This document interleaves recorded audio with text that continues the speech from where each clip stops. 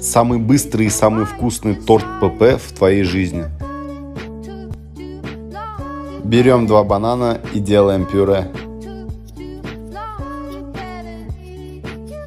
К бананам добавляем два яйца, 2 столовые ложки с горкой какао, чайную ложку разрыхлителя и щепотку соли.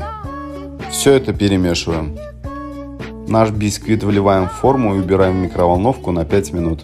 А пока займемся кремом. 100 грамм творога, 2 столовые ложки сметаны и чайную ложку меда. Все перемешиваем, крем готов. После готовности бисквиту даем отдохнуть 5 минут, чтобы остыл. И начинаем собирать наш торт. Слой бисквита, слой крема.